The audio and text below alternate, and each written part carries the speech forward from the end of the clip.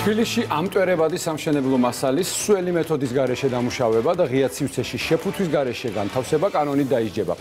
ცვლილებების პროექტი ადმინისტრაციულ სამართალდარღვევათა კოდექსში თბილისის მერიამ მოამზადა. კომპანიები, რომლებიც მტვრის წარმოქმნის პრევენციას ვერ უზრუნველყოფენ, დაჯარიმდებიან. რატომ გახდა საჭირო რეგულაციის შემოღება და როგორ ხდება სამშენებლო სექტორი მერიის ინიციატივას? ნახეთ სალვა შალვა სუმბაძის რეპორტაჟში.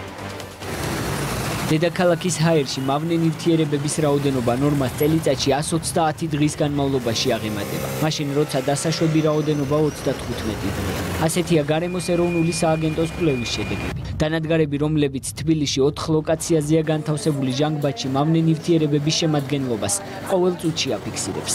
როგორც ირკვევა ელიავას ბაზრობის მიმდებარე ტერიტორია ამ ხრივ ყველაზე დაბინძურებულია. სპეციალისტები ამბობენ, რომ აღნიშნული მიზეზი სამშენებლო მასალების არასწორი წესი ასეთ განთავსება და დამუშავება.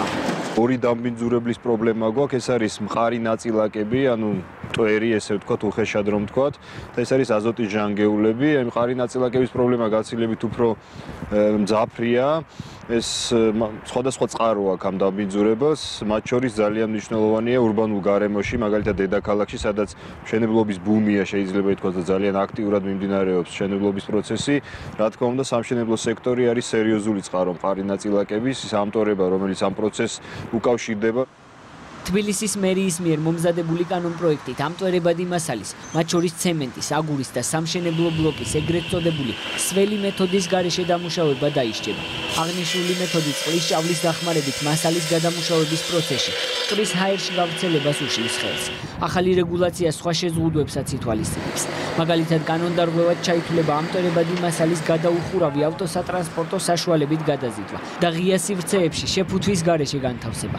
დანაშაულის ტიპის მიხედვით დამრღვევები 200-დან 1000 ლარამდე თანხით დაჯარიმდებიან. ქალაქში ჰაერის დაბინძურების ერთ-ერთი მთავარ წყაროს წარმოადგენს მტვერი და მტვრის ნაწილაკები. სწორედ ამიტომ ბატონი მერის დავალებით ქალაქ თბილისის მუნიციპალიტეტის მერიამ შეიმუშავა კანონპროექტი ადმინისტრაციულ სამართალდარღვევათა კოდექსის სრულებები, რომლის მიხედვითაც დასჯადება ქმედება მათ შორის სველი მეთოდის გამოყენებით დამუშავება კონკრეტული სამუშაოების, ასევე გადაუხურავს სივრცეში განთავსება საშენი მასალის, რომელიც ერთ-ერთი მთავარი წყაროა მტვრის ნაწილაკების გავრცელების თბილისის ჰაერში. ელიავას ბაზრობის ტერიტორიაზე მოვაჭრეები კამერებთან საუბრისგან თავს იკავებენ. თუმცა მათი ნაწილი აღნიშნავს, რომ ახალი მოთხოვნების დაკმაყოფილება გაუჭირდებათ და შესაძლოა საქმიანობა ვეღარ გააგრძელონ.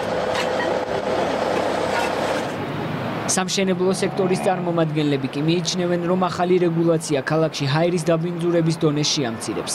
მენაშენეთა ასოციაციაში ირწმუნებიან, რომ კეთილსინდისიერი კომპანიები კანონის გამკაცრებამდე ცდილობდნენ გარემოსთვის მიყენებული ზიანი მინიმუმამდე შეემცირებინათ.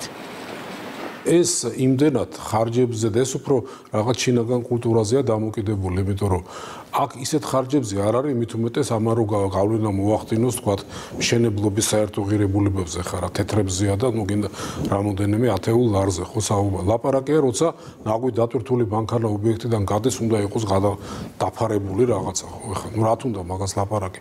მე ხშირად მინახია, რომ მედის ბანკანა და ქარი მიაფრიალებს რაღაცა ნაგვის ტომრებს ხო. არ არის ასეამუნო არანაირად.